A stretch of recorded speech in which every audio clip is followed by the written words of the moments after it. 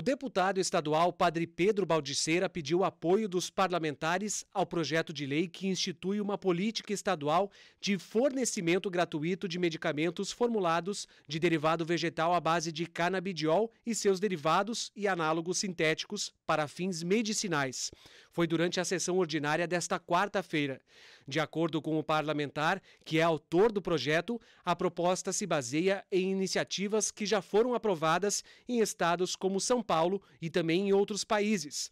A ideia é trazer mais conforto a pacientes que sofrem de doenças como epilepsia e Alzheimer. O canabidiol, ele versa eh, para o tratamento como a epilepsia eh, e tantas outras eh, doenças né, que fazem parte né, do conjunto das pessoas.